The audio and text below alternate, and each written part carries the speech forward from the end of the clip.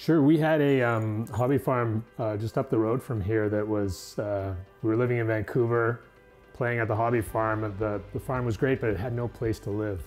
So we, um, we contacted Lisa and she found us a, a great spot close by. She knew the area really well and we had lots of choices for um, uh, what, what we could, what, what we might move to, uh, where we might live.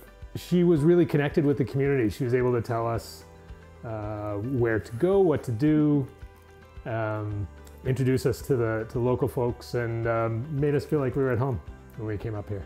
She she also stays. Uh, she stayed in touch with us sort of over the long term and uh, knew what we were thinking and was able to let us know. You know, this is available, or you know, this is what there's people interested in your in your place now. So. Um, uh, because of her connection and, and uh, ongoing uh, she had an ongoing relationship with her um, on a friendly basis um, that just made it when, it when it became a professional relationship, it was just that much more comfortable and, and efficient too, I think.